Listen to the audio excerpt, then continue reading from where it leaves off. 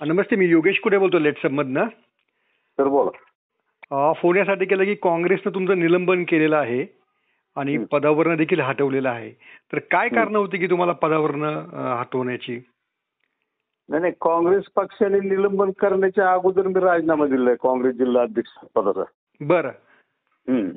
पण का राजीनामा? पत्र पण का राजीनामा राजीनामा? द्यायचं कारण असं आहे नाशिक पदवीधर मतदारसंघात हो सत्यजित तांबेंनी अपक्ष उमेदवारी केली. अपक्ष उमेदवारी केल्यानंतर विद्यमान आमदार डॉक्टर सुधीर तांबे आणि सत्यजित तांबेंना पक्षाने निलंबित केलं. बरोबर. आणि मी त्यांना उघड पाठिंबा दिला होता. एक आठ दिवसापूर्वी आठ दहा दिवसापूर्वी पेपरला एक बातमी आली होती की जिल्हा काँग्रेस संपूर्णपणे सत्यजित दादांच्या पाठीशी आहे म्हणून. पण त्याच्यानंतर पक्षाने मला एक नोटीस काढली होती शोकवास नोटीस. त्यात त्यांनी मला विचारलं दोन दिवसात खुलासा मागितला होता. मी खुलासा देण्याच्या ऐवजी माझा राजीनामा त्यांना पोस्टाने पाठवून दिला. पण पण सत्यजित तांबेनं निलंबित केल्यानंतरही ते काँग्रेस पक्षात हे स्पष्ट झालं. तरी तुम्ही त्यांच्या पाठीशी का उभे राहिले? त्याचं कारण असं आहे काँग्रेस पक्षात जी काही एकनिष्ठ घराणी आहेत.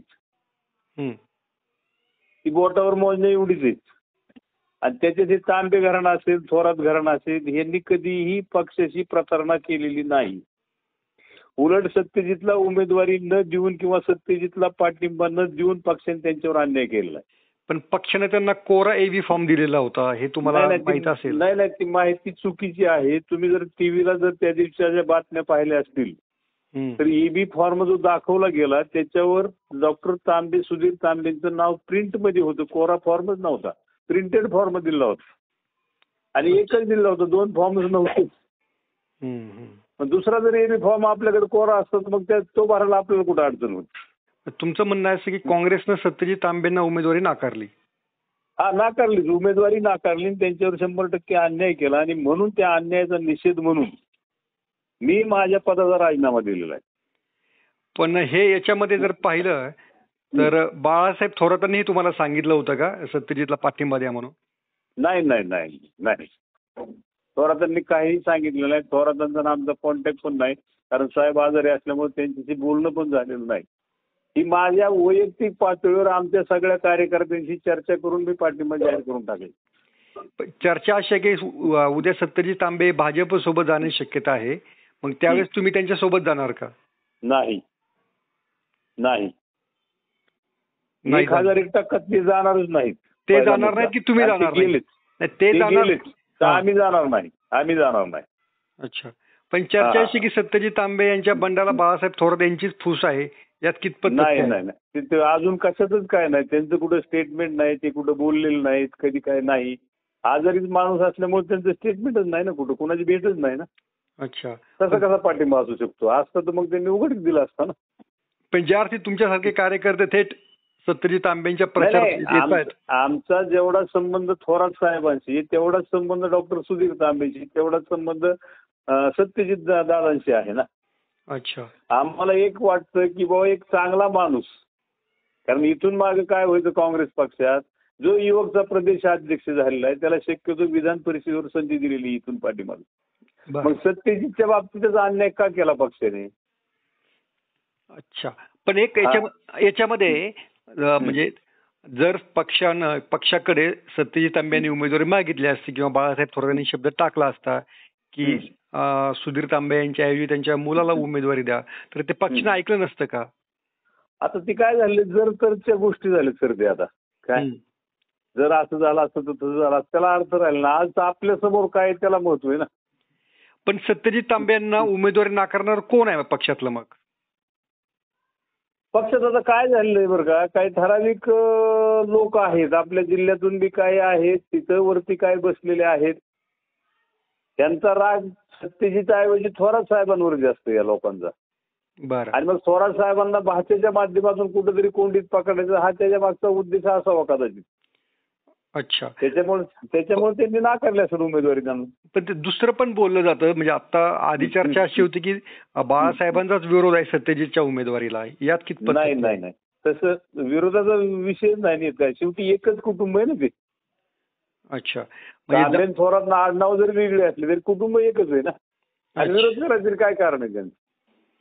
मग मग त्यांनी जर शब्द टाकला असता नाही मग सुधीर तांब्याऐवजी सत्यजितला उमेदवारी द्या तर बाळासाहेबांचा. शब्द काँग्रेस श्रेष्ठीने ऐकलाच असता की? ऐकलं असतं की. ऐकलं असतं ना. पण साहेब योग असा आला त्यावेळेस नेमकं साहेब आजारी होते ऑपरेशन झाले होतं. दवाखान्यात होते साहेब. त्यामुळे कोणाचा कॉन्टॅक्टच झालेला नाही साहेबांचा. ओके त्यामुळे सत्यजित तांबेंना आपली बंडखोरी करावी लागली. करावी लागली. आणि एका युवकाला तुम्ही का मागं बसवताय? असं आमचं म्हणणं आहे पक्षाला सवाल आहे आमचा.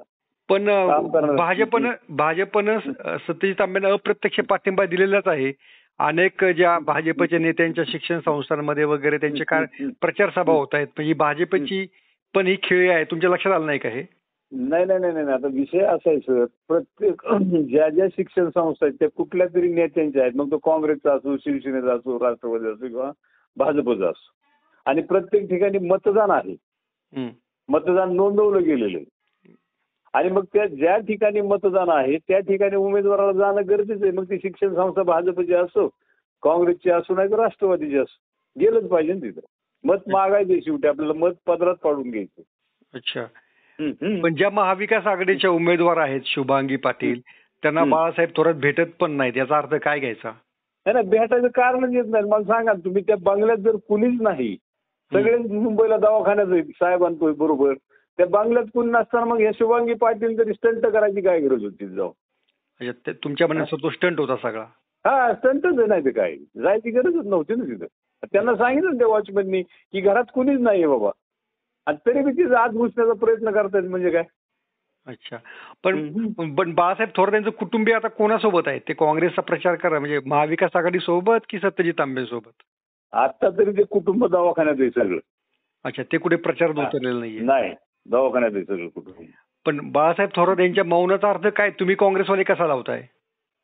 नाही आता ते अर्थ आज आम्ही सांगू शकत नाही ना. तीस तारखेनंतर आम्ही बोलू काय बोलायचं त्याच्यावर. अच्छा. आज आम्हाला कारण त्यांच्याशी चर्चा झाल्याशिवाय आम्ही काही सांगू शकत नाही. ना तुम्हाला आणि कोणालाच काय. उगा आपल्या तोंडून वेगळं काय जायला नको ना. नाही का? बरोबर. मग हा. मग सत्यजित तांबेंना पुढचा सल्ला तुम्ही काय द्याल? की त्याने आता काँग्रेसमध्येच राहावं की नाही काय वेगळा काय विचार करावा? तुमचा सल्ला काय? काँग्रेसमध्ये काँग्रेसमध्येच राहावं. आणि ते आम्ही बोललोय त्यांच्याशी का मग त्यांना तर उमेदवार नाकारले पक्षानं ना नाकून द्या ना पण आपली आपली जी तत्व आहेत काँग्रेस पक्षाची जी तत्व आहे जी जन्मापासूनची काँग्रेस पक्षाची नाळ जोडलेली आहे आपली ती नाकारून चालणार नाही ना अच्छा असं आहे ना.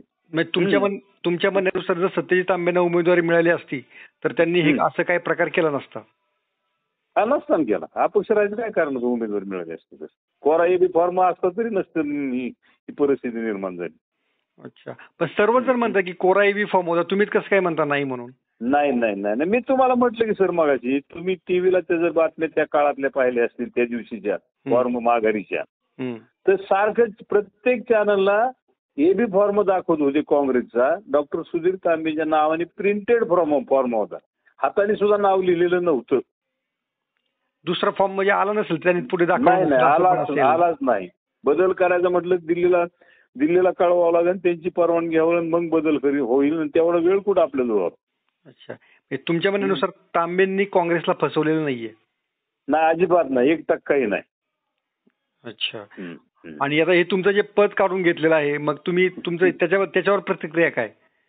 नाही नाही माझी मी तुम्हाला काढून घेण्याच्या अगोदर मी राजीनामा दिलाय सर या सगळ्या गोष्टीचा निषेध म्हणून. नंतर त्यांनी मला निलंबनाची नोटीस दिली. अच्छा. हा. अगोदरच मी राजीनामा त्यांना पोस्टाने पाठवून दिलाय. पर उद्या परवा त्यांना रा- माझा राजीनामा पोहोचल पटोले साहेबांना. आणि तुमचा हा पण दावा आहे की बाळासाहेब थोरात तुमचं काही संभाषण झालेलं नाहीये?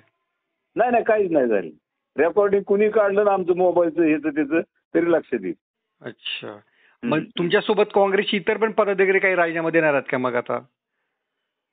नाही आता त्यांनी जर आमचं निलंबन केलं मी स्वतःच राजीनामा दिलेला आहे. त्यांचं निलंबनाचं पत्र आलेलं आहे. आणि मग काँग्रेस अध्यक्षांनी जर राजीनामा दिला तर एखाद्या वेळेस ती संपूर्ण बॉडी बरखास्त होऊ शकते. जिल्ह्याची तुमच्यासोबत काँग्रेसचे किती लोक आहेत जे सत्यजित तांबे यांना पाठिंबा देत आहेत. सगळेच विनायक देशमुख सोडले.